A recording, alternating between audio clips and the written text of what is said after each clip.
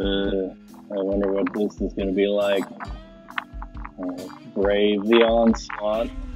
Uh, let's see how this is going to be. Oh, I see they're disinfecting the uh, shopping carts. That's nice. Away we go. A ray of sunshine, hope.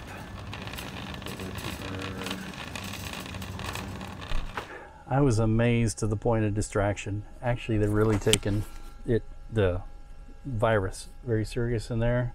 They get screens up everywhere, and I wish more of the people would take it more seriously, but what can you do? There's only so much. I mean, what can you do? Shut down all the stores and then we'd all be hurting, but. And big ray of hope. They had toilet paper. Oh my gosh.